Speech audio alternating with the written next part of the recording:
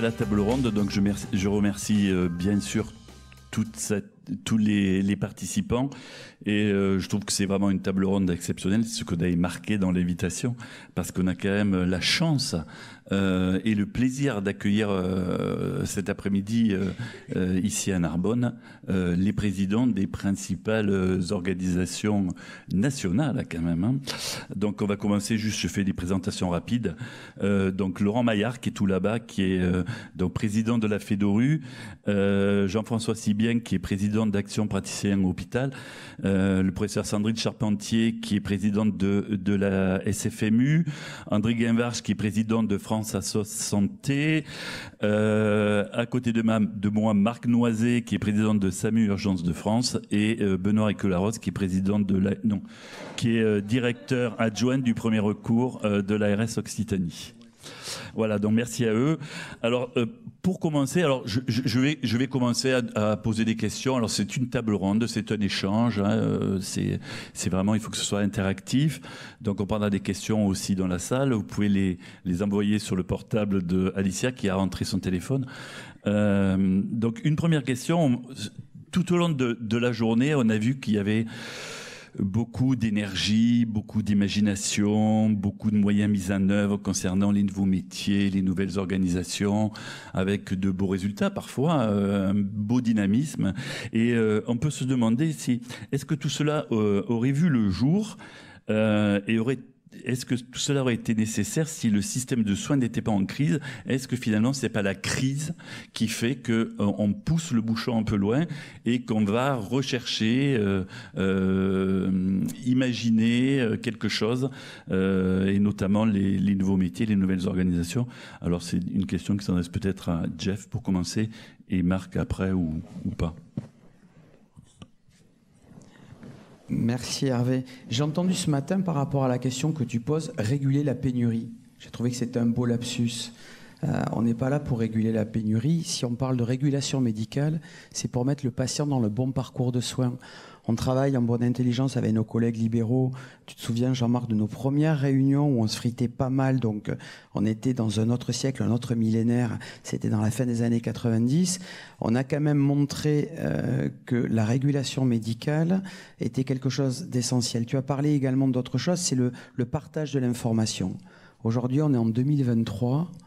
On a eu le SI-SAMU et pour avoir été un, un des porteurs du projet, j'ai toujours trouvé stupéfiant que, euh, au niveau de, de l'équipe de la première ministre et en interministériel, ce dossier a été bloqué. Enfin, même si c'est 400 ou c'est 500 millions d'euros, c'est l'outil qui permettait de partager toute l'information et on l'a vu pendant la Covid et vous le voyez sur toutes les situations sanitaires exceptionnelles, dont la Coupe du Monde, euh, dont on vient de voir une, une belle image.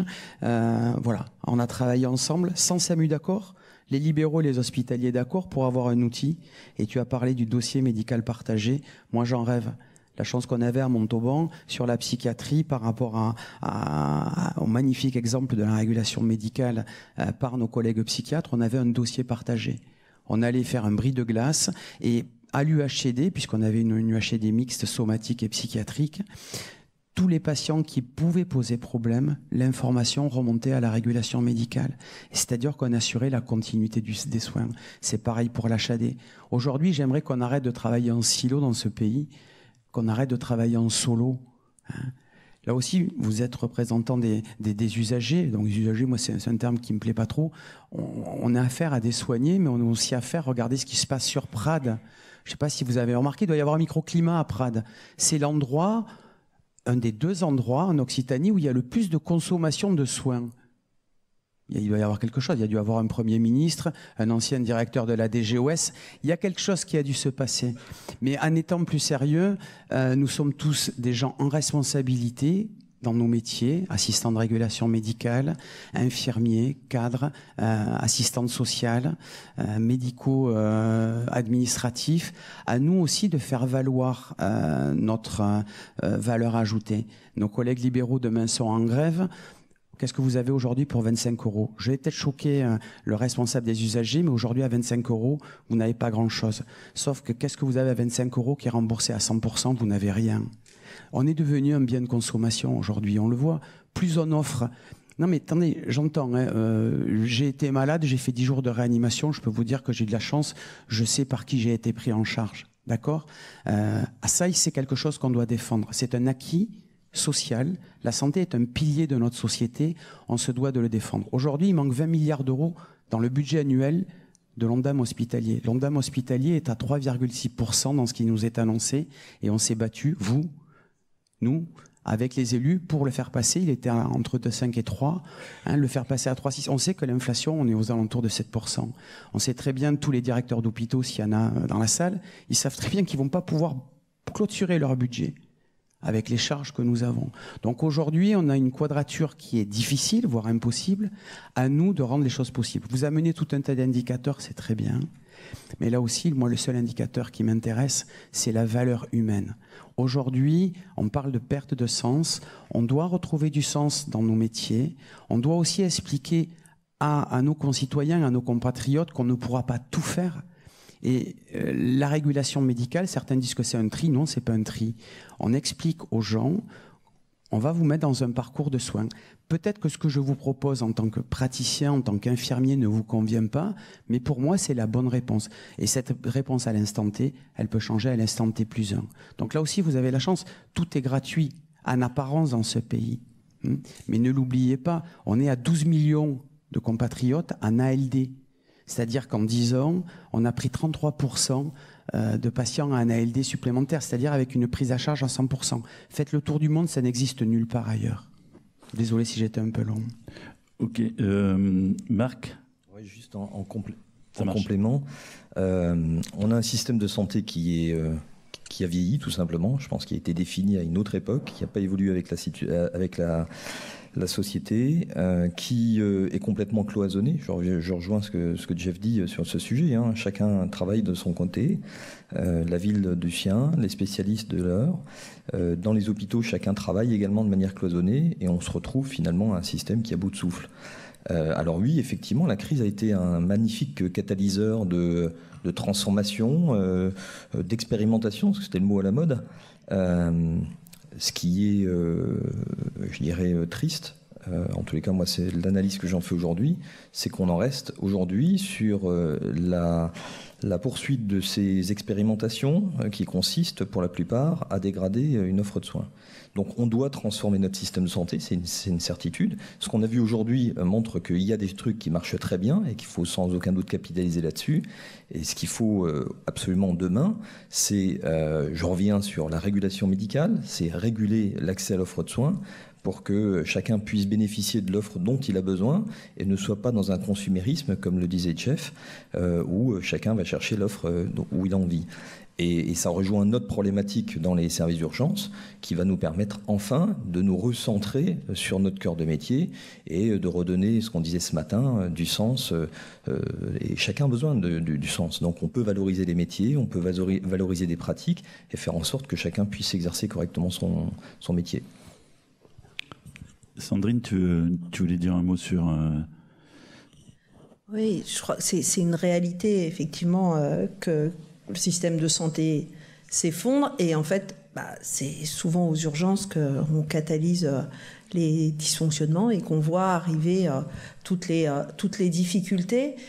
Et effectivement, c'est dans les grandes crises qu'on a le plus d'innovation et on a aujourd'hui cette chance, dans cette grande crise, d'avoir des gens qui inventent, des gens qui innovent, et vous en êtes bah, tous les représentants aujourd'hui. Et à ce titre, euh, vraiment merci parce que, encore une fois, toutes ces petites briques mises bout à bout, elles vont peut-être faire évoluer le système et le faire évoluer dans le bon sens pour nos patients, puisqu'en fait, on est tous euh, évidemment euh, centrés sur, sur les patients.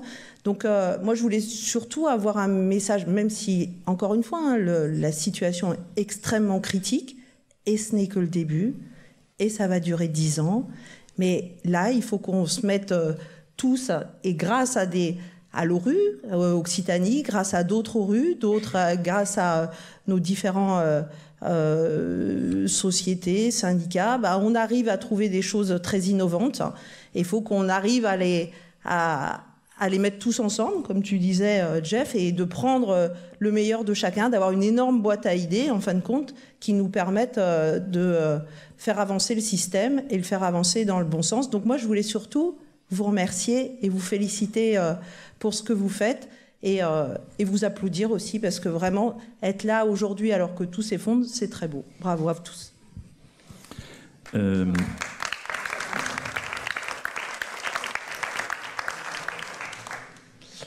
Benoît, tu veux, dire un mot, mais si, vous voulez, le, simplement, le but, c'est pas que chacun donne son avis. Hein. C'est moi qui donne la parole. Euh, et à partir de maintenant, c'est la dernière fois. Hein. C'est la dernière fois, mais je ne veux pas faire un excès de positivisme, mais je, vais reprendre ce qu'a dit Olivier ce matin. C'est qu'il y, a certes la crise, mais il y a aussi un changement où on doit s'adapter on ne gère plus les lits comme on le gérait en 1950. Donc, crise ou pas crise, il y a un moment aussi, on a besoin de s'adapter. On est en 2023.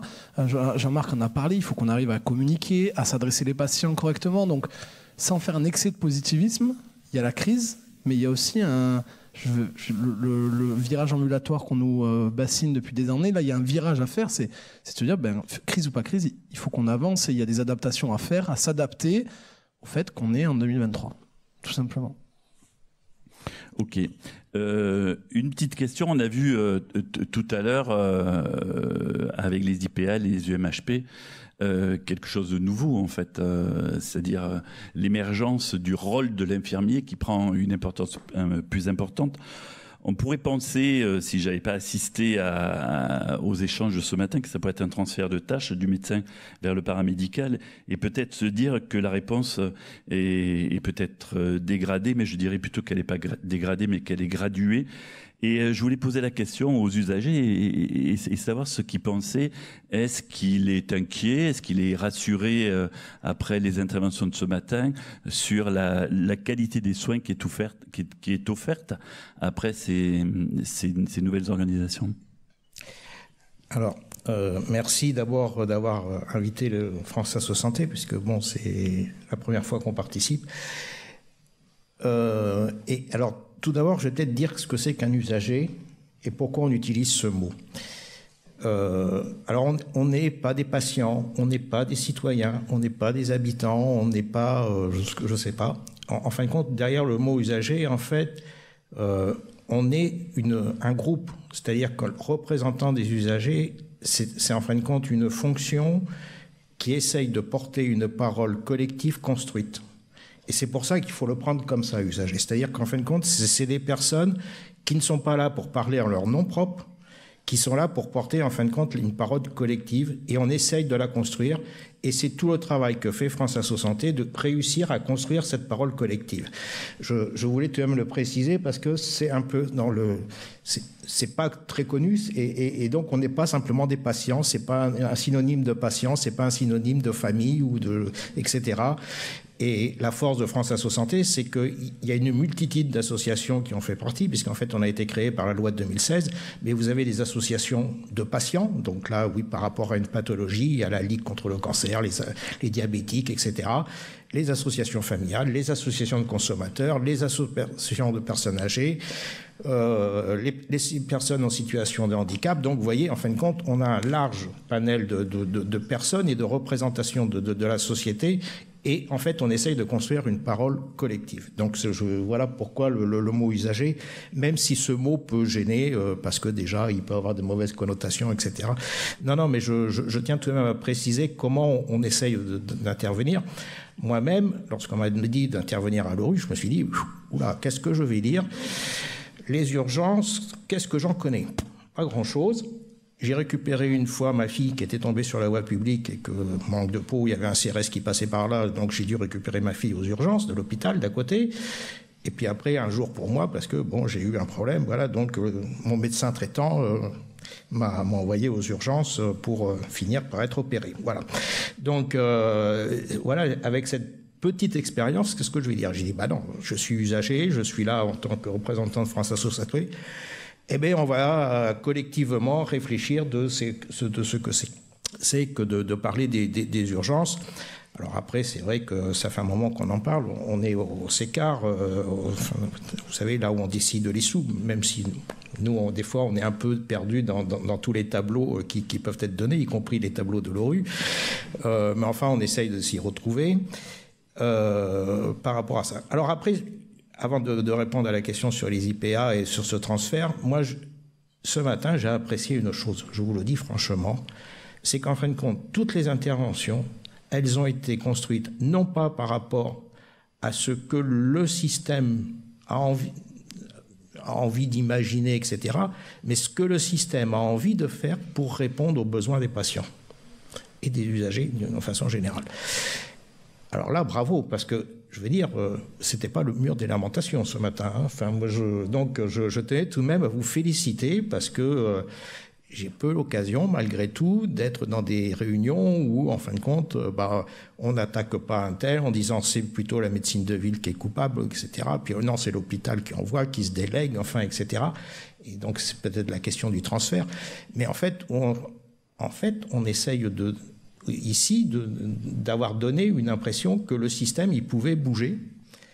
Euh, alors, je ne sais pas si c'est parce qu'on est en crise, parce que, bon, rappelez-vous tout de même, la sécurité sociale, elle a été créée euh, au lendemain de la guerre, donc là, c'était plus qu'une crise, et c'est là qu'on a posé des bases, et c'était certainement pas le meilleur système économique pour commencer à poser des bases d'un système de solidarité après euh, ces années de guerre et, de, de, tout ce qui s'y était passé. Euh, donc pour euh, voilà, donc je tenais tout de même à vous dire ce, j'ai été heureux ce matin d'être là et de vous entendre. Au nom des usagers et de tous les usagers. Alors le transfert. Qu'est-ce qui est important pour, euh, un usager du, système ou un patient ou euh, d'une famille? Enfin, moi, quand je regarde des statistiques, même si je, je resterai sceptique sur euh, la non-corrélation entre le, le, nombre de médecins et l'utilisation des urgences, il faut tout de même pas oublier que lorsque les personnes ont, ont perdu l'habitude d'aller chez le médecin, ils ont aussi perdu l'habitude de se soigner. Et peut-être que lorsqu'ils vont aux urgences, ils sont tellement dans un système dégradé de leur santé qu'ils doivent y rester certainement plus longtemps que les autres. Mais peut-être qu'il faudrait affiner par, rapport à ça.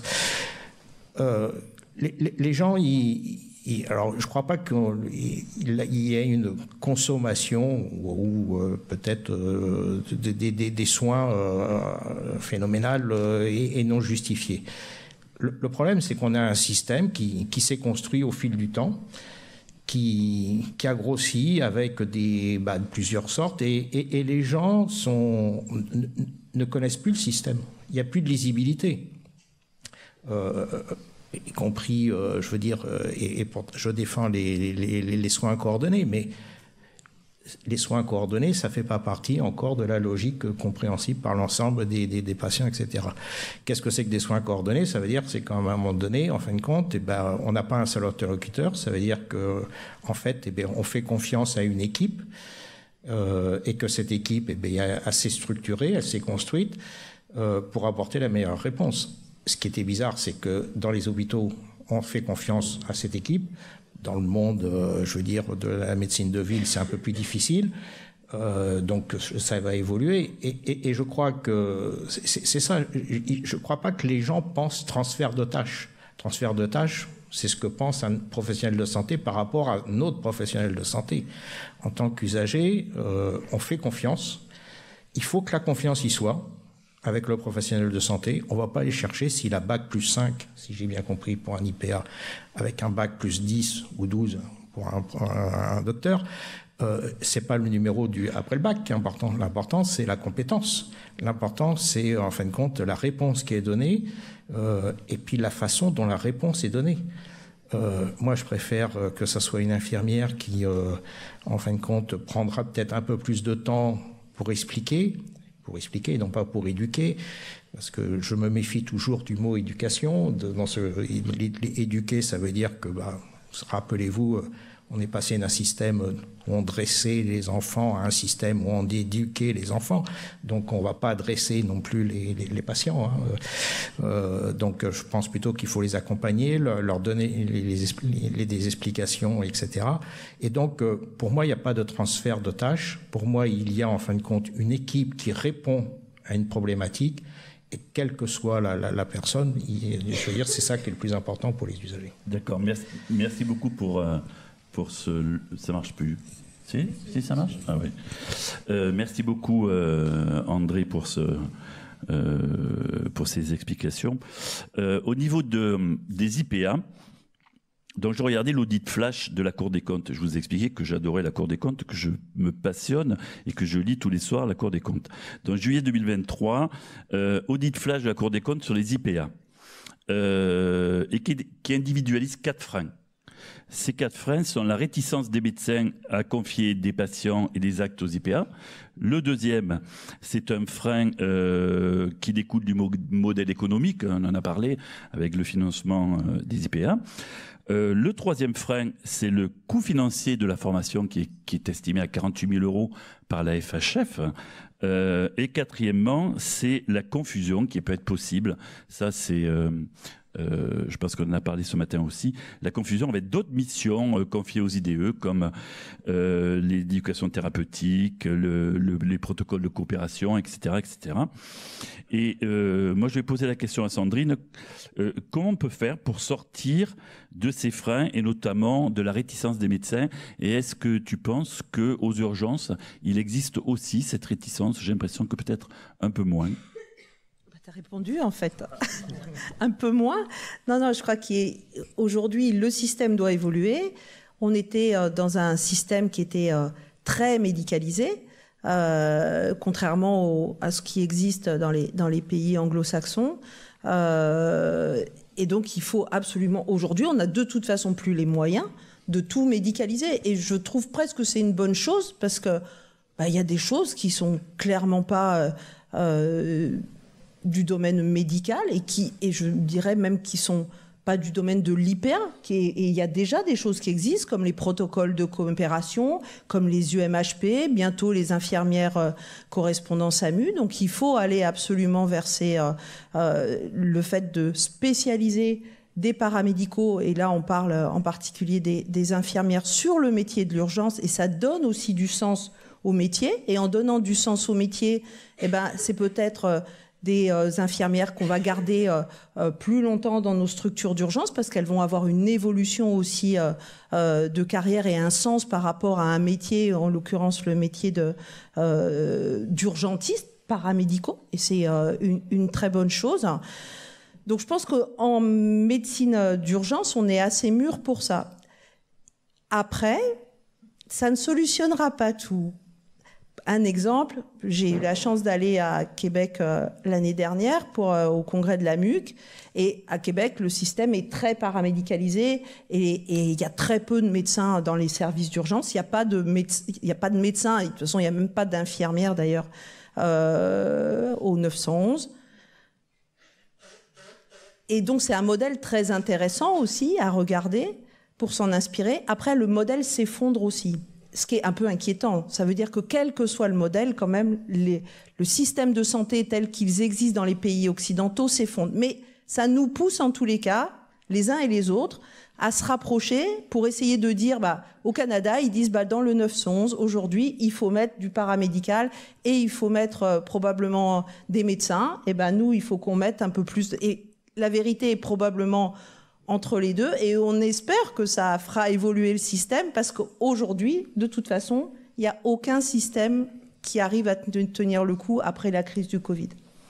Merci. Donc on voit que tu es, euh, tu es séduite par les IPA. Tu, tu, portes aussi ce, euh, ce projet d'IPA au sein de, de la SFMU. Euh, dans le PRS 3, Benoît, euh, a priori, d'après ce que j'ai lu, parce que j'ai lu les 250 pages euh, du PRS3, tu vois, à côté des, des rapports d'accord des comptes, je lis le PRS3. 2000. Euh, l'objectif est, d'arriver quand même à 25% des services d'urgence avec un IPA. Est-ce que tu penses qu'on va y arriver? Et Comment vois-tu que euh, comment l'ARS peut aider, aider, comment chacun peut aider pour arriver à cet objectif-là? J'ai eu peur quand tu as commencé à dire PRS3 là, je me suis enfoncé dans le siège. Ce PRS3, en tout cas sur les urgences et sur nos programmés, on l'a construit. Alors je vois pas mal de monde hein, dans, la salle. Il y a, Jean-Marc, il y a Sandrine, il y a André qui étaient là. Y a eu beaucoup de temps de travail. Alors, il y a eu des déceptions, mais il y a, eu aussi des avancées. Et euh, les IPA, on a parlé du bed management ce matin, des, cellules d'ordonnancement, mais les IPA, ça a été aussi un. Je ne sais pas si c'est une évidence ou quoi, mais ça a été une demande. C'est quelque chose qui est ressorti. Comment on le traduit? Alors, est-ce que c'était 50, 75% Il y a plein de chiffres qui ont tourné. Ça a été arbitré, c'est 25%. Pourquoi ben c'est, il, fallait impulser la, démarche. Et je, je vois, il y a Yann Pionnet hein, dans, la salle avec qui, euh, avec qui on a échangé côté agence. Hein, à, Perpignan, c'était les premiers avant que tout existe. Hein. Ils sont débrouillés tout seuls, ils sont financés tout seuls. Ils se, euh, voilà, ils, sont démerdés. Ils, ont, ils ont rencontré pas mal de galères. Puis il y a les suivants, les, les nouvelles générations, là, ceux de l'Avor, qui nous ont sollicités qu'on n'a pas réussi à aider comme, on voulait. Euh, donc à la, suite entre le PRS de se dire il ben, faut qu'on y aille, euh, on y va, on s'est tous tapé dans la main et les premiers retours dans les services d'urgence qui disent bah, c'est pas comment faire, on n'est pas suivi, on n'est pas accompagné. Ben, pour y aller, ben, l'agence va aider. Euh, on oblige, mais des fois on fait pas que obliger, c'est pas souvent. On va aider, donc on va lancer un appel à manifestation d'intérêt. Alors le, nombre, je sais pas vous le dire parce que c'est encore en train d'être discuté en fonction du montant qui sera attribué mais pendant les trois prochaines années, il va y avoir des IPA accompagnés dans tous les services d'urgence, mais aussi en santé mentale et aussi en, en, maladie chronique, parce que ben, il, faut qu'on aide les établissements pour qu'on en ait des IPA et pour que la greffe, elle prenne. Et peut-être que ça ne sera pas la bonne idée, mais on, en rediscutera dans cinq ans, voir où on en est. Une question, Marc. Euh, si on arrive à développer ces IPA, je te demande de réfléchir un petit peu à, de te projeter sur quelque chose que peut-être il n'arrivera jamais. Mais enfin bon, si on arrive à équiper tous les services d'urgence avec des IPA, euh, est-ce que au final, euh, dans les SMUR, par exemple les T2IH, par exemple les l'UMHP, euh, ne seront pas occupés finalement plus que par des IPA Est-ce que c'est pas une évolution d'aller se dire, puisqu'on a des infirmiers qui sont formés, euh, bah, qui ont euh, euh, des compétences, finalement, on va les mettre dans ces rôles-là qui sont euh, un peu, qui correspondent un petit peu à ce que font les IPA Alors même en se projetant très très loin, j'y crois pas.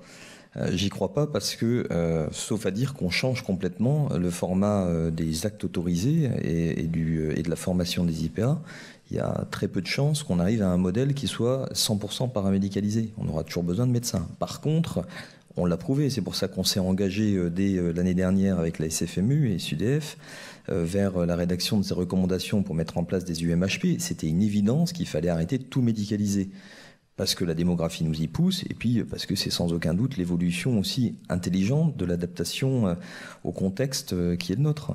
Donc, moi, je pense que la vraie question, c'est comment est-ce qu'on va intégrer nos IPA dans les SMUR Parce qu'on voit bien qu'on a une superposition, on a été un tout petit peu en avance de phase poussé par la crise euh, pour euh, ben, avancer dans la paramédicalisation. On a des UMHP qui commencent à naître un petit peu partout. Euh, on a des SMUR qui fonctionnent encore avec des IAD, vous en avez probablement en Occitanie. Et puis on a des IPA qui vont arriver. Donc, quelle est la place des uns et des autres? Et c'est sans aucun doute ça, pour moi, le, défi de demain qu'il va falloir relever progressivement. une, question à Sandrine, peut-être sur la formation. Euh, est-ce que tu penses qu'un jour on aura euh, euh, un accès à l'IPA par la VAE ou est-ce que tu penses que pour le moment c'est n'est pas du tout l'heure du jour? Oh pourquoi pas? Honnêtement et je pense qu'en plus c'est quelque chose qui est qui est un peu dans les tuyaux quand même. Hein. Donc oui oui c'est mais encore une fois enfin l'IPA je dirais c'est Aujourd'hui, il n'y a pas que l'IPA. Tous nos, euh, et, on travaille encore une fois beaucoup euh, à, essayer de, créer ces métiers de l'urgence. Euh, L'IPA va être la cerise sur le gâteau, là, mais en fait, il y a beaucoup de métiers de l'urgence qui vont être qui vont être développés et qui vont aussi changer un peu la physionomie de la médecine d'urgence et c'est une très bonne chose. Alors j'ai une question qui me remonte euh, transmise par euh, parce que je, vous rappelle que vous pouvez envoyer les questions à Alicia qui me les envoie. Enfin ça, elle se transforme un peu hein, entre dans le, dans le parcours à, Jean-François euh, qui me dit comment revaloriser le, travail de l'IPA, notamment sur le plan financier. Est-ce que tu penses que c'est quelque chose qui qui limite un peu l'accès à l'IPA, enfin au fait d'aller vers, vers, la fonction d'IPA. Est-ce que tu penses qu'il ne faudrait pas une revalorisation de l'IPA? Alors avant de parler de la révélation des IPA, euh, j'ai un auditoire qui est quand même assez soignant. Je suis stupéfait de constater, vous avez été revalorisé d'1,5%. Euh, je pense que l'inflation a augmenté un peu plus. Alors, il n'y a pas que le syndicaliste qui, qui, parlait, il y a le père de famille. Euh, voilà. Euh, avant de parler des IPA, je pense qu'on a des infirmiers protocolisés ou protocolés. Euh, ça fait dix ans qu'on se bat euh, pour que vous ayez, dans le cadre de tout ce qui est valorisation sur la qualité, Benoît, une majoration euh, voilà. Au niveau des urgences, on s'est battu euh, euh, avec Marc, avec François à l'époque, pour que vous ayez une prime urgence. Vous avez vu, on s'est beaucoup battu pour les assistants de régulation médicale. Après plus d'un an de bataille, on est passé de 30 euros à une majoration de 100 euros, avec une pénibilité, vous l'avez vu, qui peut augmenter jusqu'à 50%. Donc les IPA, oui, moi je, suis pour que vous ayez un parcours là aussi en tant que soignant, mais que l'aide-soignant puisse devenir infirmier. Euh, tout ce qu'on fait euh, et cet ascenseur social qui est aujourd'hui est plus que grippé dans le pays. On le voit dans, de plus en plus d'exemples. Donc là aussi, on doit redonner une dynamique. Euh, les IPA, vous devez avoir une grille à part. Vous devez avoir une grille à part, vu les responsabilités que vous avez. Mais là aussi, c'est de la pratique avancée. Attention à ce que ça ne devienne pas de la pratique autonome. Hein, attention aux autonomistes. Euh, voilà. Là, vous travaillez dans une équipe et il faut que là aussi, on arrête dans ce pays de mettre des strates sur des strates. Hein. Euh, les IPA, c'est une réponse. Hein, on doit vous accompagner, mais avant de vous accompagner, je m'excuse, j'accompagnerai les 99% de vos autres collègues qui aujourd'hui sont en grande détresse. Et là, vous, vous êtes les moteurs pour que demain, vous, nous, on va se battre, hein, comme pour tous, pour revaloriser euh, vos salaires au niveau du gouvernement. Ça va être très compliqué, hein, je vous le cache pas, euh, mais que derrière, euh, là aussi, vous puissiez donner envie. Souvenez-vous, les aides-soignants, on leur faisait faire de la gypsothérapie, mais du moment que tu fais de la gypsothérapie, tu peux perdre ta prime d'aide-soignant. Ce genre de choses sur les ARM. Donc aussi dans ce pays de la prime, ça serait bien qu'un jour on ait un pays dans lequel il y ait une grille de salaire qui réponde à vos responsabilités, à votre engagement. Et ça, on va se battre. Il y a des, discussions en cours avec euh, le, ministère euh, euh, de, la transformation publique, enfin, et de la fonction publique, pardon. Et voilà. Et on, on, travaille également avec le ministère de la Santé. Et pour nos collègues HU, on va ouvrir une parenthèse qu'on va vite refermer. On va se battre et je pense qu'on va obtenir le fait que, il faut que vous sachiez, nos collègues hospitalo-universitaires, leur cotisation sur leur temps clinique n'est pas intégré dans leur retraite. Ça choque personne dans ce pays. C'est-à-dire que l'élite dans le pays, quand ils viennent travailler en clinique, ça ne valorise pas leur retraite. On ne va même pas parler du fait qu'il n'ait pas de RTT, pas de temps de travail additionnel. Donc là aussi, on doit, euh, il y a un pacte social dans ce pays, il faut que ce pacte soit respecté. Et euh, le sujet, Monsieur Guinvarch, est tellement vaste euh, qu'un jour on, prendra le temps d'échanger avec vous.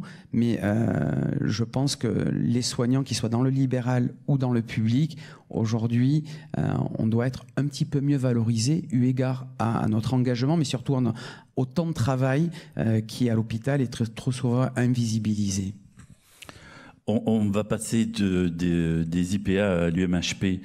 Euh, on, a, vu l'expérience qui a été faite à Carcassonne. C'est une expérience ponctuelle qui a été financée par l'ARS. Euh, est-ce que tu penses, Benoît, est-ce que c'est dans les euh, dans les de l'ARS de, généraliser cette expérience-là? Et euh, dans la généralisation, est-ce qu'il y aura une compensation financière, une aide financière là-dessus ou ou pas?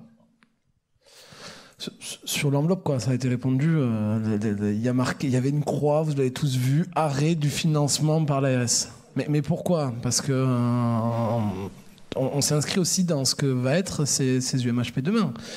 Il n'y a pas d'autorisation de SMUR paramédicalisé. En fait, hein, il y a une autorisation de SMUR Euh, il y a une gradation de l'envoi des moyens. Donc, c'est les SMUR, c'est les moyens qui sont financés par l'agence. Dans, ce, dans cette région, je pense que sur le financement des SMUR, je ne vois pas hum, les collègues des, établissements privés, mais il y, a, un énorme débat parce qu'on a été un, peu loin sur le financement des SMUR et, je, m'en félicite que le CECAR ait, pris ces, travaux-là. Et je remercie d'ailleurs euh, Hervé et, Marina des usagers qui œuvrent énormément dans, ce CECAR, et notamment sur les SMUR, c'est la voix des usagers qui a rappelé la sagesse euh, sur, ce débat-là. Mais donc on, finance des lignes de SMUR entières, c'était revalorisé, on, s'en fout du tarif, mais, mais pas des lignes de SMUR paramédicalisées, des UMHP ou des EPMU, peu importe le nom. On finance un moyen et après, c'est le, le, régulateur choisit les moyens qu'il envoie, il, il les grade. Et c'est dans cet esprit-là qu'on a construit la dotation populationnelle. Donc, pour répondre à ta question, on ne va pas financer d'expérimentation. On va l'encourager à la généraliser avec ce qui arrive, ce qui sera permis par les textes. Et, et c'est assez heureux. J'invite tout le monde à regarder ce qu'a ce qu'a fait euh, Carcassonne, euh, mais il y en a d'autres ailleurs. Hein. Marc, euh, tu l'as fait chez toi. C'est des, des, moyens. Hein. C'est des moyens qu'il faut pouvoir graduer pour pouvoir mettre le, bon vecteur auprès du, de l'état clinique du patient. Et, et, une question qui, qui suit celle, la précédente, là, que, qui est pour Marc, c'est que est-ce qu'il n'y a pas un risque quand même euh, pour une direction d'établissement euh, d'enlever une équipe euh, médicalisée en disant bah, on met une MHP et finalement ça coûte moins cher et finalement en termes de sortie ça fait le même nombre de sorties? Alors si on reste sur le format EPMU, oui, parce que le PMU, c'est la dégradation d'un moyen SMUR. J'ai plus de docteur, je mets, je mets une EPMU. C'est bien pour ça que je dis EPMU. Si on est sur le format UMHP, c'est une gradation dans une autorisation de SMUR. Qui dit autorisation de SMUR, on regarde les textes, comment ils sont écrits, c'est un médecin, une infirmière, un ambulancier. Et sur certaines indications, et c'est comme ça que c'est précisé dans le texte de loi qui va un jour sortir, euh, eh bien, euh, paraît-il que c'est au Conseil d'État. Alors, on ne sait jamais trop si c'est encore dans l'enveloppe ou si c'est sur le bureau. Euh, donc, dans, le, dans, la, dans la façon dont ça a été formulé dans les textes de, de, de loi, donc euh, avec lesquels on, enfin, on a travaillé avec la DGOS sur ce sujet-là, c'est écrit que sur des indications spécifiques, l'équipe pourrait sortir avec simplement une infirmière et, euh, et un ambulancier. Donc, ça veut dire pour moi qu'on ne devrait pas augmenté. Je suis un petit peu surpris sur les chiffres de Carcassonne, mais ça s'explique probablement par, par des, une organisation locale et puis, euh, et des pratiques. Mais on ne devrait pas voir flamber le nombre d'interventions paramédicalisées. Voilà, on devrait voir diminuer le nombre d'interventions médicalisées peut-être un petit peu augmenter euh, l'ensemble, parce qu'on peut imaginer qu'une intervention paramédicalisée soit ensuite renforcée par une, intervention médicalisée, mais globalement, on devrait être stable. Donc pour moi, il n'y a pas de risque de siphonnage. Hein. Et puis, euh, juste pour euh, compléter le, les, propos de Benoît sur le financement, aujourd'hui, on est dans le cadre d'une expérimentation. La loi n'autorise pas ça. Donc il fallait, on avait un texte dérogatoire, une instruction dérogatoire de, 2000, de juillet 2022 du précédent ministre, il fallait financer. Demain, on n'a pas de raison de rajouter des lignes du MHP partout, alors qu'on est juste sur une variation de la gradation des besoins par rapport à la demande. Donc ça, sera dans l'enveloppe de financement des SMUR. la question que je posais, c'était, par exemple, tu as trois lignes euh, de SMUR euh, avec des médecins dans un établissement Est-ce qu'il ne peut pas y avoir une, tendance à enlever sur les trois lignes une ligne médicale pour laisser une ligne paramédicalisée? Moi, je je, pense pas, je ne pense pas. Encore une fois, si on regarde euh, les, euh, à Mulhouse, euh, excusez-moi, on a 20 ans d'expérience là-dessus. Hein. donc, on a fait pendant 18 ans de l'illégalité. Puis là, depuis deux ans, on est dans un format qui est expérimental. Donc, euh, on n'a pas vu disparaître l'espion médicalisé. Enfin, je veux dire, n'oublions pas qu'on a un patient derrière et que derrière, il y a besoin, qu'il y ait une, compétence médicale pour gagner du temps sur l'orientation, sur la pertinence euh, du parcours patient et du diagnostic et de la thérapeutique engagée. Donc globalement, oui, effectivement, il y a euh, un, panel. Vous savez que, dans les chiffres qui ont été présentés ce matin euh, de Smurtab, vous avez vu que vous avez une grosse part de, de, de douleurs thoraciques. Euh, c'est euh, alors chez nous en Grand Est c'est un quart, chez vous c'est un petit peu plus. Hein. un quart d'activité fait sur la, douleur thoracique. Ben, les douleurs thoraciques, évidemment, il y a de nombreuses douleurs thoraciques qui peuvent être prises en, compte par une infirmière, mais c'est pas pour autant qu'on va voir disparaître des lignes médicalisées. Moi, je pense plutôt qu'on aura une ligne normale, et c'est moi c'est comme ça que ça fonctionne dans mon service. Ben, une fois, ils sortent équipe complète, et puis une autre fois, il y a juste l'infirmière qui sort et le médecin est là pour faire un énième, euh, une sortie supplémentaire avec euh, un reste de personnel ou pour euh, être en renfort aux urgences. C'est plutôt comme ça. Une question, Laurent. Eric l'a dit. c'est très difficile d'avoir d'avoir une remontée de, de, de l'activité SMUR de manière précise, en tout cas comme on l'a au niveau des urgences. Donc je sais qu'à la Fédorue, euh, vous avez beaucoup travaillé, ou on a beaucoup travaillé sur le RPIS, euh, donc peut-être peut nous en parler un petit peu parce que tout le monde l'attend, en tout cas pour savoir un peu ce qui se passe euh, au niveau des SMUR. Et de notre côté, je dis, pour les RPU, l'arrêté c'est de juillet 2013 juillet 2013, l'arrêté des RPU et on voit que encore maintenant, il y a des services d'urgence enfin, qui remontent leur nombre de passages aux urgences, le nombre de RPU, mais qui y en a encore plein qui sont euh, incomplets. On ne sait pas les, les taux d'hospitalisation, etc. Ça fait dix ans déjà et euh, c'est euh, appuyé par un arrêté. et je me dis c'est quand même très laborieux. Alors c'est vrai que derrière il y a le problème des éditeurs de logiciels qui sont pas forcément faciles mais je voulais avoir un peu ton avis. Est-ce que tu penses qu'au niveau euh, des, des, RPIS, en sachant qu'en plus euh, la plupart des SMUR ne sont pas informatisés, euh, est-ce que tu penses que ça apportera quelque chose et quand c'est que ça verra le jour? Alors, on a eu une commande par la DGOS en 2020 sur le RPUV3, sur le RPIS et sur les données de SAMU. Euh, et donc les travaux ont été euh, réalisés à cette époque, avec un premier rendu qui a dû être fait en 2021, où on nous a expliqué que euh, les textes allaient rapidement sortir. Donc c'est ce qu'on disait, en parlant en semaine, en mois, là même en année. Hein, j'ai bien retenu, Marc, ce que tu disais tout à l'heure. Mais en tous les cas, le travail, il a été fait. Et alors, je commençais par les urgences. Les urgences, le, les travaux, c'était plus de 60 éditeurs au départ. Le fait d'avoir mis un arrêté a permis euh, de mettre en place nos concentrateurs au niveau des régions et de récupérer ces données. Donc, euh, l'on voit que la puissance euh, des concentrateurs est pas négligeable sur le fait de récupérer de la donnée. Là où c'est encore plus loin, c'est que maintenant, il y a du financement qui est derrière CRPU et la qualité de la donnée s'améliore de moins en moins.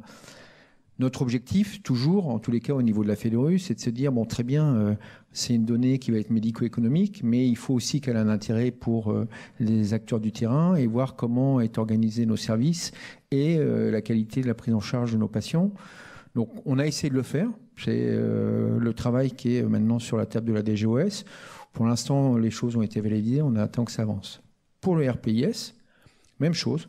C'est-à-dire que ce qu'on a fait, c'est qu'on s'est appuyé tout d'abord sur les travaux euh, du SISAMU en se disant ne faut pas être redondant et puis surtout si on veut pouvoir faire du chaînage de données à un moment ou à un autre, il va falloir que euh, les euh, jeux de valeur que nous utilisons soient à peu près les mêmes au niveau de ces différentes activités. Pareil, le travail est fait, on attend le décret, on sait qu'il va y avoir du financement derrière, donc on se doute que les établissements vont se mettre au diapason. Là encore, une fois de plus, on va se retrouver avec euh, multiples éditeurs. Je parlais du chaînage de données, il va falloir voir comment on arrive à chaîner toutes ces données au niveau euh, de établissement pour euh, pouvoir avoir le meilleur rendu pour les professionnels et pas que les professionnels, l'ensemble des personnes qui gravitent autour de ces données. Et puis le dernier point, qui est pour moi le plus important, c'est les données SAMU. Hein. Parce que les données SAMU, euh, on l'a toujours dit, euh, elles sont essentielles pour voir ce qui se passe euh, au niveau de nos territoires. C'est là où on a les données les plus sensibles pour voir ce qui, ce qui s'y passe. On voit qu'on est en train de transformer complètement notre système de santé avec l'arrivée du SAS. il est urgent d'avancer sur ce sujet. voilà, moi je pense que c'est essentiel aujourd'hui.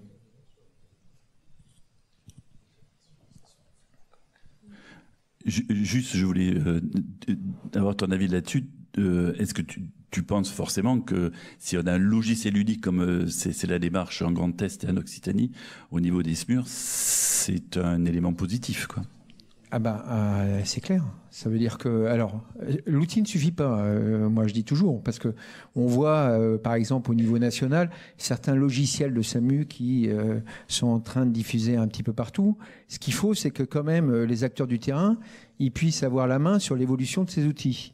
Donc, l'avantage de l'outil SMUR que vous avez au niveau de votre région, c'est justement, il y a un vrai club utilisateur avec des professionnels du terrain qui savent ce qu'ils vont faire de ces données. Euh, et il ne faudra pas se tromper. On avait cette chance avec le SI SAMU. On est en train de perdre cette chance euh, avec des éditeurs euh, du privé. Et on voit ce que ça donne. C'est-à-dire qu'aujourd'hui, discuter avec des éditeurs du privé pour récupérer nos données, ça devient compliqué. Donc vivement qu'on ait des décrets qui nous permettent de récupérer nos données le plus simplement possible. Ok, merci. Vous, aviez une, remarque à faire peut-être?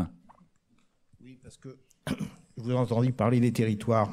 Et c'est vrai que, alors nous, en ce moment, en tant que représentants des usagers, on a été fortement investis dans, le PRS, indépendamment du CAR, euh, et, dans les schémas territoriaux, puisqu'en fin de compte, il y a une déclinaison tout de même du, du PRS dans chaque département.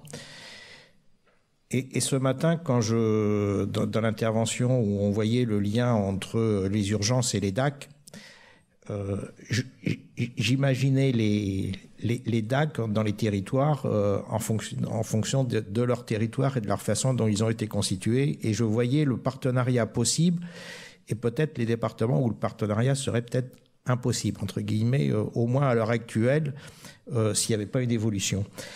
Et, du coup, je me disais, euh, bah, est-ce qu'au niveau de l'ORU euh, qui donne, euh, alors le R est régional, hein, excusez-moi, Monsieur le Président, mais je pense qu'il va falloir aussi peut-être territorialiser vos les données afin que les acteurs aient des données peut-être fiables et et non discutable entre guillemets euh, pour justement se parler et construire ensemble. Parce que vous l'avez dit l'étude que vous avez proposée tout à l'heure euh, sur le lien entre euh, le, nombre de médecins euh, par rapport au passage des urgences euh, il y a beaucoup d'imaginaire même s'il y a encore des interrogations après l'étude.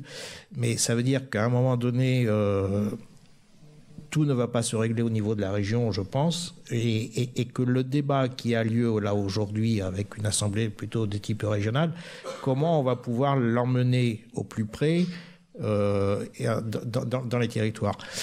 Je pense par exemple dans, le CTS où je suis, j'habite le Tarn-et-Garonne, euh, voilà, tout le monde peut-être ne le sait pas, mais euh, on s'est posé la question, par exemple, de la, proximité de, Toulouse par rapport au CH de Montauban, enfin, etc. Donc, c'est des choses sur lesquelles euh, on, s'interroge et donc qui, qui, un impact.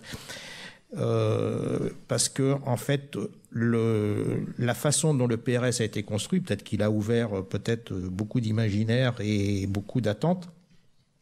Euh, la preuve, au niveau des, usagers, on, a posé le problème entre l'accès et l'accessibilité, qui sont deux choses complètement différentes. Euh, chose qui peut-être ne se posait pas euh, et que les professionnels de santé eux-mêmes ne se posaient pas entre l'accès et l'accessibilité. Donc, je crois que suis peut-être une interpellation auprès de l'ORU. comment en fait on va pouvoir irriguer en fin de compte et là, ce n'est pas une question d'éducation, c'est bien une question, je veux dire, de, d'émission, de, je veux dire, de, de ce savoir qu'on, peut avoir collectivement au plus près des, de, localement pour justement faire avancer le système et justement créer le lien et peut-être rénover complètement le système où, là en fait on n'aura pas des blocs contre des blocs mais en fait quelque chose de beaucoup plus euh, construit et ça peut être aussi le rôle de l'ORU.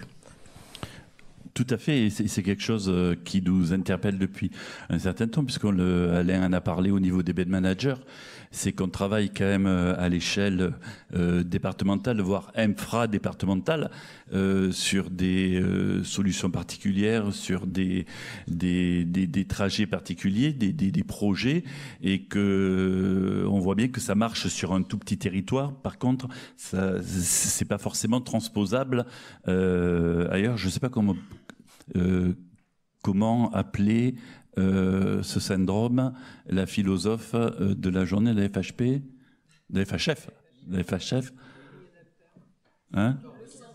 Voilà, le principe du centaure. Je l'ai placé, c'est bon. Euh, sur la gestion des lits, puisqu'on parlait de la gestion des lits avec Alain, euh, moi je me dis que la gestion des lits, le bed management, on, l'a vu, on en parle depuis des années, des années, ça revient sans arrêt, euh, le bed management, il faut faire du bed management, etc. Euh, voit que c'est quand même laborieux. Hein, voilà, notamment ce qui est humain, ce qui est relation entre les uns et les autres, enlever les habitudes, voilà. Tout ça, c'est très très laborieux. Euh, et moi, je me dis des fois, quand je vois les, les bed managers, euh, face au manque de lits, face au, manque de RH, face au problème des ambulances, il manque des ambulances. Vous avez dit qu'on se plaindrait pas, donc je me plains un petit peu. Euh, les SMR qui sont bloqués, qui sont à 100%, etc. Et le type de patients, notamment euh, bed qui qui sont présentés, je me dis mais mais quelle solution ils vont apporter, quoi? Mais quelle solution, quoi? Il faut faire rentrer des carrés dans des ronds, quoi. C'est ça, en fait, le, le, travail.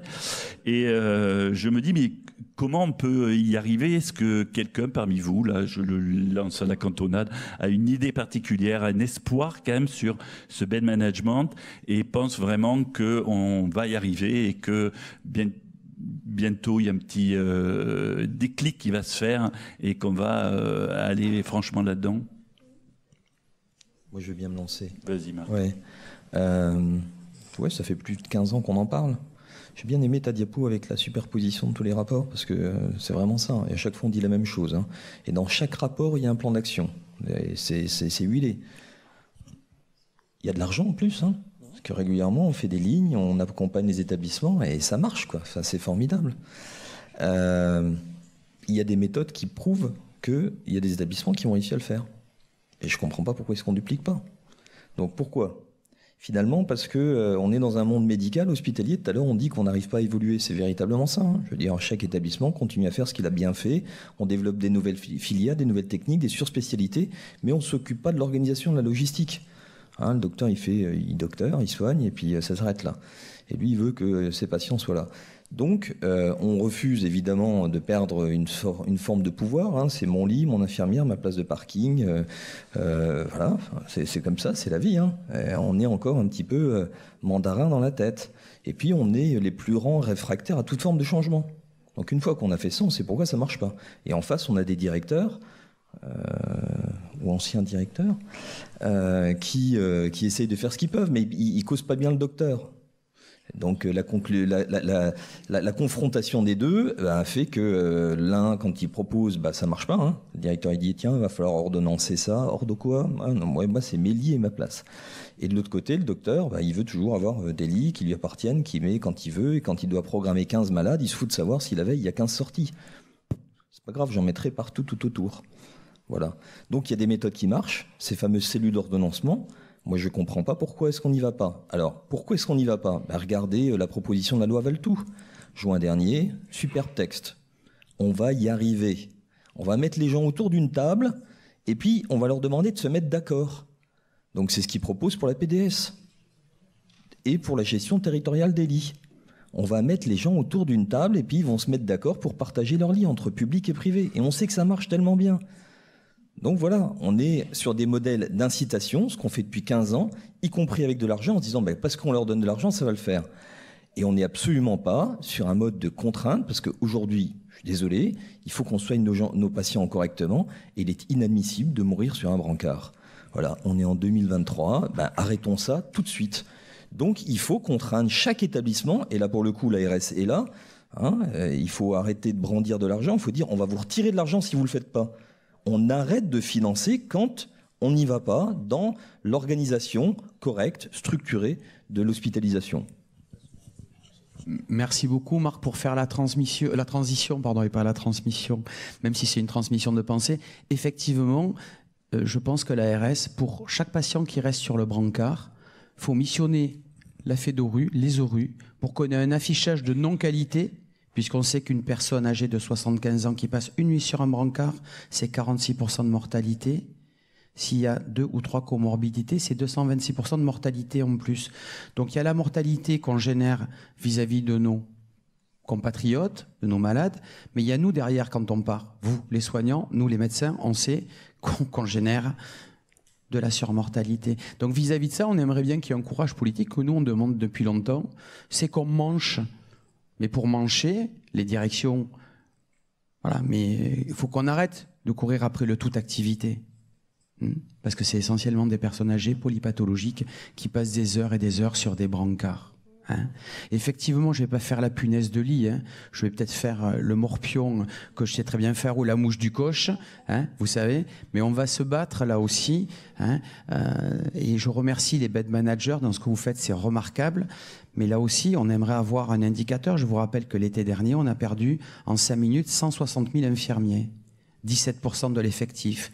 Donc aujourd'hui, si on a une situation sanitaire avec une certaine gravité, on affiche les forces en présence. La PPL Joumier, on a travaillé avec euh, les, représentants euh, Santé en danger, les collectifs et, et vous-même au niveau des associations pour qu'on parle de ratio. Aujourd'hui, on a besoin de faire l'analyse des forces en présence et également des besoins de soins de la population et qu'on ait une réelle planification, Hervé, une réelle planification des besoins de soins à venir pour qu'on puisse avoir une organisation et que nos petits étudiants en santé ne s'épuisent pas. 40% d'abandon en première année, hein, euh, au niveau des, enfin en première et deuxième année au niveau des IFSI. Là aussi, on est là pour accompagner les jeunes, que ce soit les internes et l'ensemble des étudiants en santé. On est là pour les, les upgrader et leur amener euh, à, à avoir envie, puisque tu as dit ce matin, 10 ans l'espérance de vie. C'était 2019. Aujourd'hui, en 2023, quand l'adresse va sortir son rapport, tu as 6 ou 7 ans, et voire même peut-être moins. Donc là aussi, on veut vous former et on veut que vous restiez à l'hôpital ou dans le libéral. Concernant euh, le bed manager, alors une question euh, euh qu'on m'avait posée il y a quelque temps, c'est, vous le reconnaîtrez, donc c'est un ancien international de rugby de troisième mi-temps qui disait que les bed managers sont souvent des cadres. Et euh, il avait une super idée. Il me dit, et, les médecins là-dedans, ils pourraient pas. Euh, un bed manager pourrait pas être un médecin, ça serait peut-être pas plus efficace, ou peut-être, alors là c'est pas lui, mais c'est moi qui le, qui le rajoute, peut-être un binôme médecin cadre. Est-ce que ça serait pas plus d'efficacité qu'un cadre simplement? Alors, Aujourd'hui, on dit tous hein, que la ressource médicale, elle est extrêmement euh, contrainte, faible. Donc, je suis pas sûre qu'il faille euh, inventer un, nouveau métier. Par contre, ce qui est sûr, c'est qu'il faut aller vers les cellules d'ordonnancement des lits. C'est une obligation parce que, encore une fois, nos bed managers, et heureusement qu'ils sont là, font un travail monstrueux, mais avec les mêmes moyens que nous quand ils sont pas là, en fait. C'est-à-dire euh, pas forcément euh, une bonne vision des lits. Euh, euh, ils se retrouvent avec des difficultés parce que comme disait très bien Marc, bah, les médecins gardent leur lit. Et puis, il faut pas oublier une chose, c'est que là, depuis le Covid, on voit que nos patients, quand même, sont de plus en plus complexes. Et nos patients, ils rentrent plus dans les cases il rentre plus dans la cardiologie, dans la pneumologie, et donc peut-être qu'il faut aussi évoluer vers une augmentation des lits de post-urgence, des lits de médecine polyvalente, même dans les grands centres euh, universitaires euh, de pointe, parce qu'aujourd'hui, les patients sont extrêmement complexes, et c'est une réalité que depuis le Covid, la santé des patients s'est profondément altérée. On voit tous de plus en plus euh, de cancers, on voit de plus en plus de décompensation de pathologies chroniques, particulièrement chez les sujets âgés, mais pas que. Mais pas que, parce que allez, euh, aujourd'hui, nos problèmes, c'est le patient de 54 ans qu'on aurait bien mis dans une EHPAD, bah, il rentre pas dans la case EHPAD. Et tout ça, c'est une réalité. Et ces patients-là, c'est pas de l'hyperspécialité. Et les cellules d'ordonnancement de lit, elles peuvent servir à ça. Donc, un binôme médecin, enfin, il y est toujours le médecin à un moment parce qu'il y a une évaluation médicale, mais de croire que le médecin trouvera la solution, justement, il faut enlever un peu de pouvoir de ce pouvoir-là au médecin pour pouvoir euh, bah, encore une fois, que nos patients aient des places dans un service et qu'on s'occupe d'eux. J'ai quelques questions. J'avais noté ça, hôpital 2.0. Euh, donc on a vu l'intérêt tout à l'heure de, de recentrer les professionnels de santé sur leur métier euh, avec euh, euh, différentes propositions qui sont très intéressantes qui ont été évoquées ce matin. Je me demande si est-ce que les directions sont prêtes à investir en personnel alors que ces professionnels-là, comme ça a été mis à Carcassonne, ne sont pas des producteurs?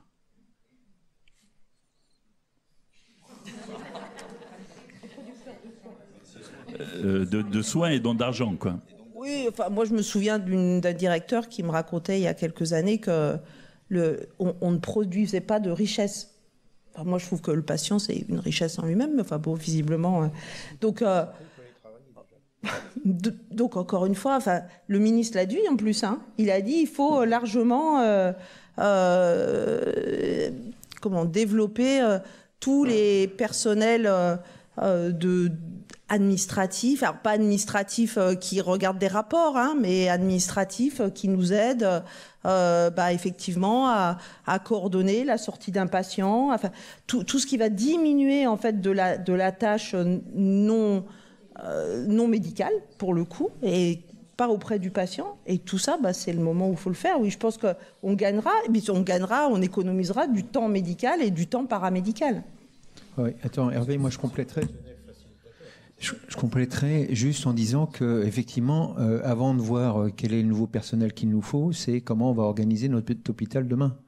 Parce que là, ce qu'on est en train de dire, c'est que on va vers euh, l'expertise, très bien. le virage ambulatoire, il s'est très bien passé pour les experts. Ils vont nous faire la consultation, il n'y a pas de problème. Mais les patients dont on vient de parler tout à l'heure, la polypathologique, euh, qui n'ont pas réussi à prendre le virage, eux, euh, bah, aujourd'hui, il va falloir trouver une solution pour les prendre en charge. Et je pense qu'il faut commencer par réfléchir à ça, avec les cellules d'ordonnancement. Quels sont les médecins qui vont les prendre en charge dans ces services? Parce que ceux-là, il va falloir les trouver également. Et puis peut-être qu'à ce moment-là, on verra s'il faut de nouveaux métiers ou pas. Quand on voit le, système de soins euh, en France, on entend toujours dire c'est le meilleur système de soins du monde. Euh, et de l'autre côté, on dit non mais c'est la, crise totale, euh, on n'en peut plus, etc.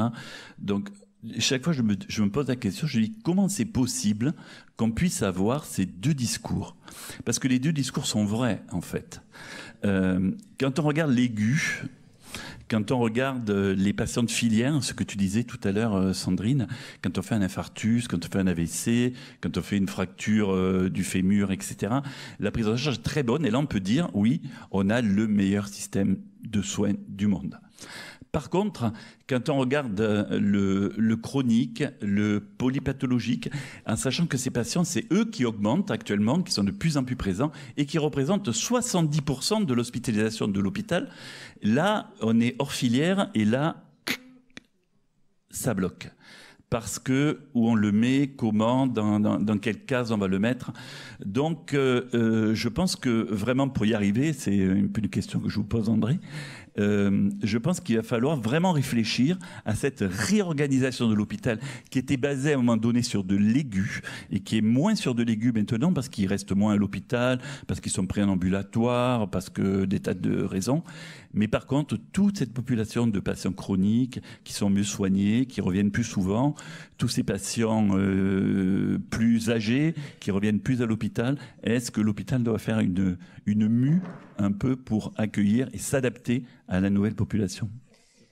Alors très certainement. Et moi je dis toujours l'excellence euh, médicale et de la, recherche en particulier a caché en fin de compte la, médecine euh, humaine euh, qui était nécessaire pour, je veux dire, le, commun des mortels qui a, et qui a des, pathologies non pas voilà, qui relèvent de grands spécialistes.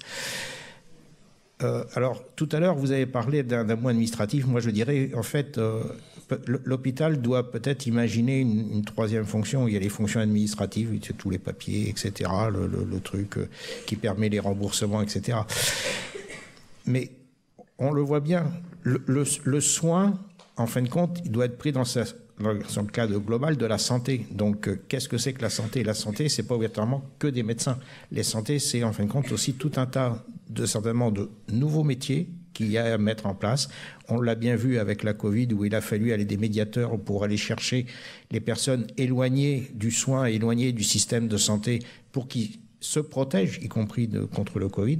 Donc, à un moment donné, c'est aussi tous ces nouveaux métiers au niveau de l'accompagnement, au niveau de, des médiations, au niveau de, en, fin de compte, qui permettent de faire du lien, qui, qui, permettent d'expliquer, en fin de compte, pourquoi il faut rentrer dans tel dispositif plutôt que dans tel autre, euh, et, et, tout ça. Et donc ça, par contre, tout ça est inventé, et c'est certainement aussi à, l'hôpital que ces nouveaux métiers doivent émerger, parce que euh, c'est la demande, parce que la, complexité du, système fait que la personne ne peut pas construire son parcours propre.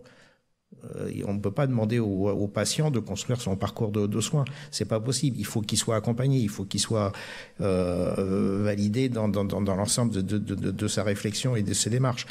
Donc, un peu à l'image, je vais peut-être être très hors du, soin, mais euh, rappelez-vous, en fait, on, a euh, dématérialisé l'administratif. Puis après, quelques années après, on est en train de créer les maisons France Service parce qu'on s'aperçoit que les gens, ils peuvent pas faire tout seuls euh, leur papier administratif. Alors qu'on pensait qu'en en leur disant avec un ordinateur, vous allez vous débrouiller. Et ben là, c'est pareil. C'est pas parce qu'en fin de compte, il y aura des systèmes de soins qui répondent. Euh, que les gens vont pouvoir s'en saisir et que donc il faut imaginer de nouveaux procédés, de nouveaux process, des nouvelles fonctions pour faire cet accompagnement. Et c'est peut-être ça, je veux dire, la révolution du, système de santé de demain.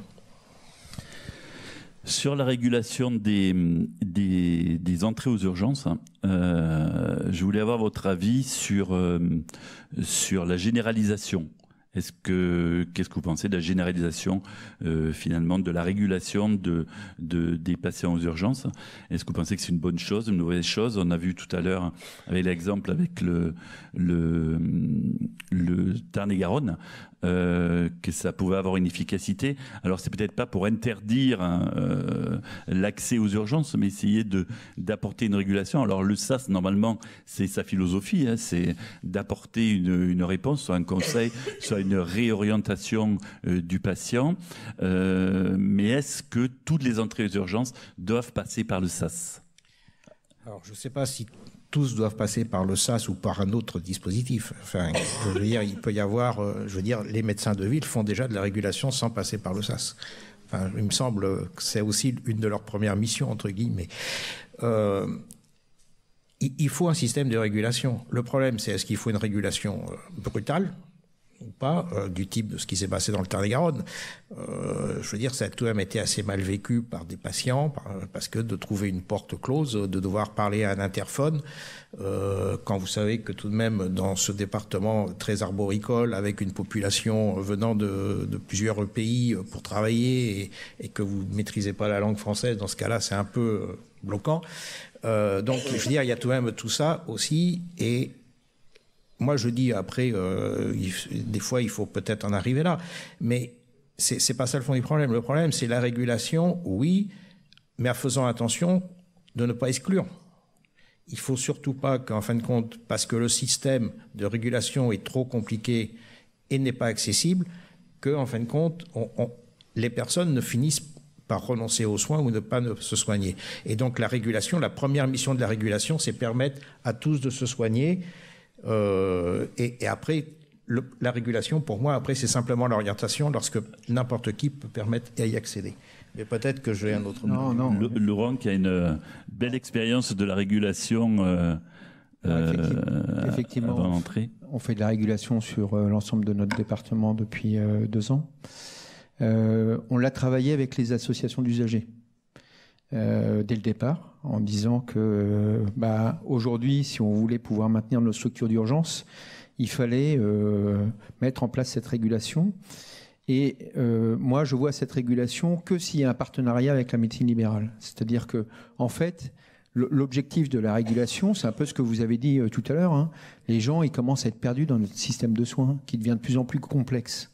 Donc aujourd'hui, euh, ce qu'on propose à travers la régulation, c'est le juste soin pour le patient avec le bon professionnel. Et je pense que le message à faire passer au niveau de la population, c'est justement, vous avez un accès à la santé via le SAS. Et si on arrive à, au niveau de la communication, faire comprendre à la population que c'est comme ça qu'ils vont avoir euh, euh, l'information adaptée à leurs besoins, eh ben on aura fait un grand pas en avant. Juste pour compléter, quand même, le SAS, c'est le troisième niveau. Le premier niveau, c'est quand même le médecin ou l'organisation euh, que peut mettre en place une CPTS. Et le SAS, c'est là pour la sécurisation de dire, bah, si vous avez ni médecin traitant, ni d'organisation faite dans le cadre des CPTS, à ce moment-là, vous avez le SAS et ça permettra effectivement d'avoir euh, une régulation de l'accès aux soins. Mais il ne faut pas oublier que le premier effecteur quand même de l'activité non programmée, je ne parle pas euh, de, ce qui est ressenti comme de l'urgence immédiate, hein, la douleur thoracique, euh, bah, ça, doit, rester le médecin traitant ou une organisation de type CPTS. Autrement, on va faire exploser les SAS. Oui, mais, euh, juste par rapport aux chiffres qui sont présentés, 50% hein, de nos patients, ils sont aux horaires de la PDS. Donc ça veut bien dire que c'est le moment où il n'y a pas obligatoirement une réponse effective sur le terrain. Mais c'est une réponse qu'on peut organiser. Et d'où euh, ce travail en partenariat à mettre en place? Alors, ah, peut-être, je vais mettre un pavé dans la mare, excusez-moi, mais moi, j'ai beaucoup d'interrogations, enfin, notre association a beaucoup d'interrogations sur les, maisons de soins immédiats euh, que l'on voit fleurir. Euh, je, pense qu'il y a une manne financière euh, derrière cela. Je, pour avoir été représentant des usagers en CPM, je sais très bien qu'eux ne touchent pas 25 euros, puisqu'en fin de compte, ils ne rentrent pas dans cette catégorie-là et, que donc, euh, pour moi, c'est l'exemple même des mauvaises réponses. C'est un peu comme la télécabine dans un supermarché. Euh, c'est faire croire aux, personnes qui vont trouver du, soin, alors qu'en fait, euh, c'est pas tout à fait le cas parce qu'il n'y a pas de suivi, il n'y a, pas d'avant, il n'y a pas d'après. et on est complètement en dehors des parcours. Alors, je, suis peut-être dur dans mes propos, euh, mais enfin, je c'est pas la première fois que je le tiens, puisque en fin de compte, je le tiens déjà depuis longtemps au sein du CAR. Euh, ce, genre de propos euh, et je m'interroge beaucoup en fin de compte sur ces alors certes ça fait baisser hein, du coup le passage aux urgences hein. Et puis les personnes qui en fin de compte eh ben, sont régulées en leur disant non vous n'allez pas aux allez plutôt à la maison de, soins immédiats où vous trouvez une réponse pour faire votre plâtre tout de suite parce que vous avez fait une fracture etc me disent, euh, ceux qui sont allés, c'est super bien. Je lui dis, bon, d'accord, tu dis c'est super bien parce que tu as eu une réponse immédiate. Réfléchis que, ce que ça veut dire, même là où tu es allé, là, qu'est-ce que tu as eu comme euh, service, là, qu'est-ce que tu as comme euh, service en prévente, entre guillemets, etc. donc, à un moment donné, je pense aussi qu'il faudra qu'on s'interroge sur ce genre de dispositifs qui sont complètement hors parcours de, santé des citoyens, puisqu'en fin de compte, ils ne sont là que pour un, système, je dirais, de, de rentabilité immédiate. Voilà, pardon, excusez-moi. De...